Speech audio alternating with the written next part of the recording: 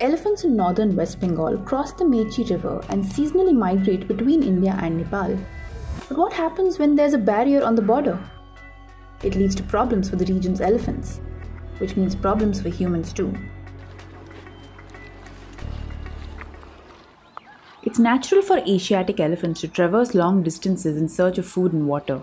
The large mammals step out of forest patches, national parks, and sanctuaries and journey across human habitats and farmlands, foraging along the way. Oblivious to political boundaries, they stride through villages, states, and even countries. In North Bengal, elephant herds from the Terai and Duars landscape in the foothills of the Himalayas move towards the Indo Nepal border. They use the Mahananda Kolabari corridor, a path between the Mahananda Wildlife Sanctuary in India and the Kolabari Reserve Forest close to the border and then they head towards the forests of Jhapa in East Nepal. Their quest is mainly for paddy and maize crops. But in 2016, troubled by elephants entering villages and raiding crops, Nepal's authorities built an 18 kilometer long solar powered fence along the Indo Nepal border, blocking the cherished elephant passage. The result? Any elephant that touches the fence receives a jolt, pushing it back to the Indian side. While a few solitary bulls struggle and cross over, female elephants and calves are often left behind. The confused elephants wander along the fence and enter other villages, increasing conflicts within the Indian border. रोज दिन हाथी आवेले चार गो पाँच गो नौ गो दस गो डेढ़ डेढ़ बीघा करके खाए ते लाख होले हम इनका के खाब हाथीराम जोत में आवेल रोज डेली के डेली डेली के डेली कभी आठ बजे कभी नौ बजे कभी तीन बजे but human elephant conflict is not a recent matter in northern West Bengal. Natural habitats were heavily fragmented by tea plantations, farms, human settlements, and infrastructure projects. Space for elephants shrunk, and this led to more interactions with humans.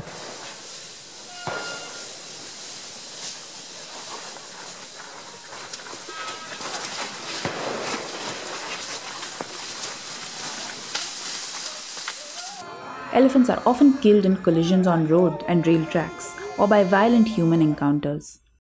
Communities, often vulnerable farmers, also suffer due to loss of crops, property, and lives. Asian elephants have even evolved their foraging strategies to raid crops such as paddy and maize during specific times of the year. A nutritious and tasty meal, but a high risk for high gain. The barrier on the Indo Nepal border is a short term solution to reduce such raids, but an unsustainable one. The Right of Passage report by the Wildlife Trust of India states that the Mahananda Kolabari Elephant Corridor is no longer suitable to be considered a corridor. In 2016, the West Bengal government urged the central government to take up the human elephant conflict issue along the Indo Nepal border with the Nepal government, but progress is still awaited. India, Nepal, and Bhutan witnessed the transboundary movement of several wild animals. In a formal dialogue between the three countries organized by the International Center for Integrated Mountain Development in December 2018, the barrier problem was discussed. One is to understand actually you know, what intensity uh, of this uh, no impacts are there. So those fact findings, science based uh, no documentation was one uh, suggestion that was uh, suggested under the guidance of a task force between uh, no two countries. Because of this uh, pre- prevailing situation, we have not been able to advance, but that is in our card.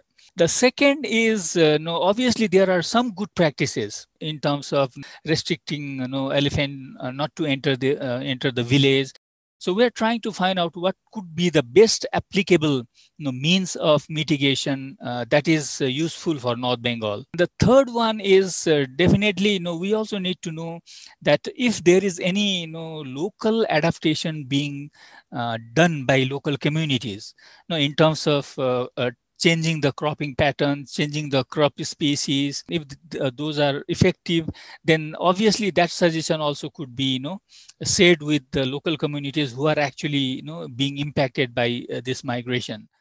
While the situation has gathered some attention, elephants and humans continue to be at risk on the ground. Pradeep Vyas, a senior retired forest officer, highlighted the issue as an economic one for local communities. In an interview with Mongabay India, he said, there has to be a ground level dialogue. Movement of elephants and damages should be discussed.